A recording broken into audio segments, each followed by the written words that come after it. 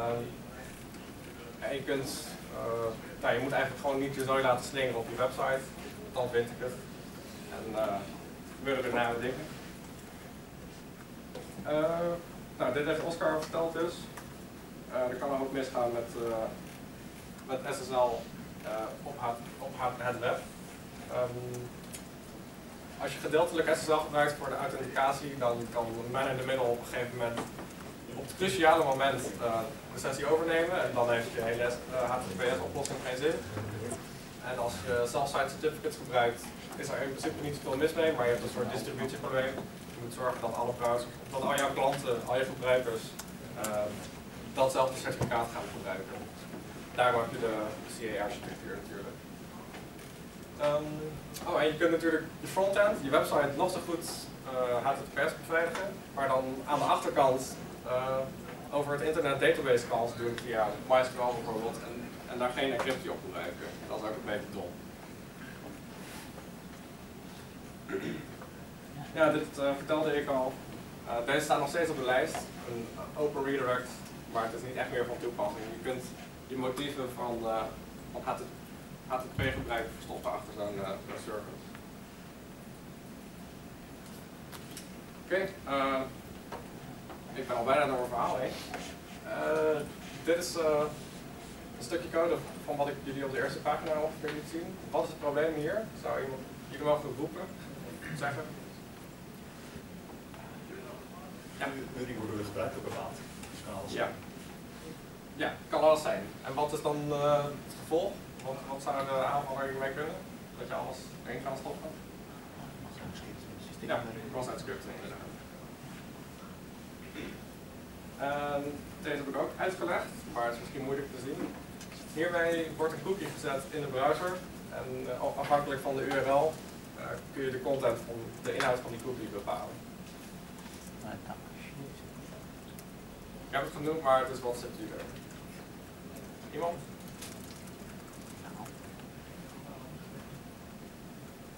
Dan kan je nu niet informatie in de cookie zetten die dingen uitgevoerd of zo?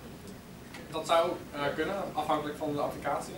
Uh, het probleem is, die cookie wordt gezet uh, met een HTTP response header. En wat je dus hierbij kan doen, is in die HTTP response gaan klooien. En je kunt dus een nieuwe HTTP response teruggeven, dus, dus HTTP response splitting. Maar inderdaad, als je als je op je site wat JavaScript code hebt die de cookie gebruikt, en uh, waardes daaruit uitleest en daar dan dingen op basis daarvan gaat doen. En je kunt als aanvaller iemand anders cookie poisonen, zoals dat heet, dan uh, kun je dus de state in die context overnemen op interessante manieren. Maar dat is helemaal afhankelijk van wat er op die site gaande is. Hmm. En deze dan? Hier ga ik uh, niet veel over zeggen, want ik ben maar nooit met je. Ik zal hem even laten staan. Um, denk er rustig over na of uh, Google wat. Dat mag ook. Uh, wat ik nog vergeten was te zeggen, uh, we hebben te maken met de Same Origin Policy. Ja. Heb ik dat al verteld? Nee toch? Um, alle, alle inhoud moet van dezelfde website afkomstig zijn. Um, ja. Dus als er een script een script van een bepaalde site kan niet zomaar bij een andere site zijn cookies of content. Um,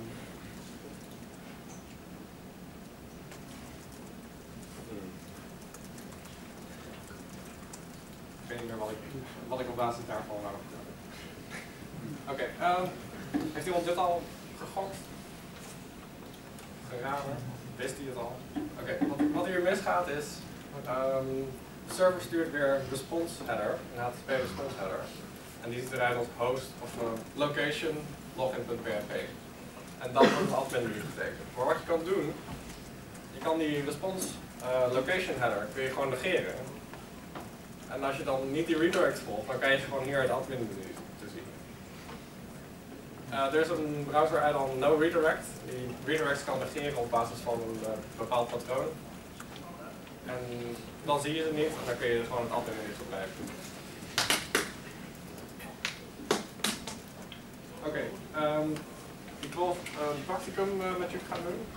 Eh, er is een, een mooie leertool van eh, OWASP, heet WebGoat. Het is gemaakt in Java. Je hebt er Java 5 voor nodig. Ik weet, nog, ik weet of jullie nog Java 5 gebruiken of dat allemaal 6 over is. Maar, nou ja, Java 5 installeren lukt wel, lijkt me. Uh, dus installeer WebGoat. Het is gewoon een jar die je kan downloaden of een zip-file. Het werkt op uh, Windows en Linux en, en Mac. Ik heb niet getest op Mac, maar ik ga ervan uit dat het werkt.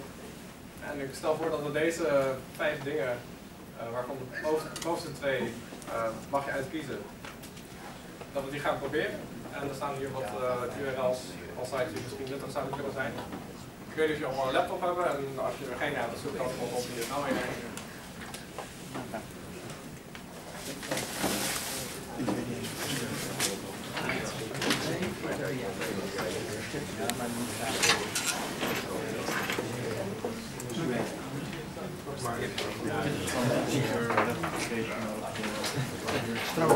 Volgens mij wachtwoord.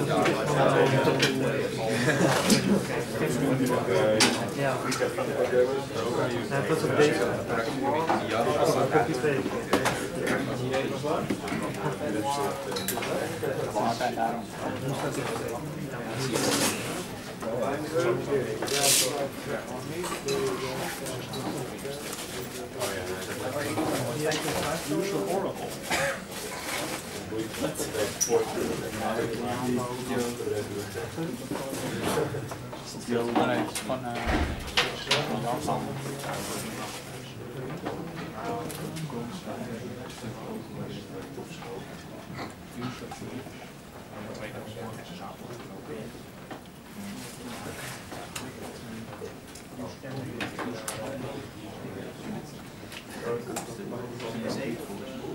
Uh, ja.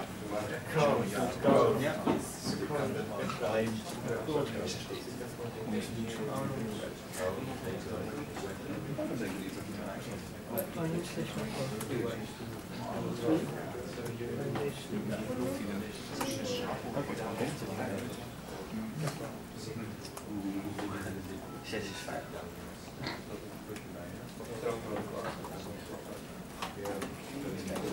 Zes en zeven. Ja, fijn. Oké, je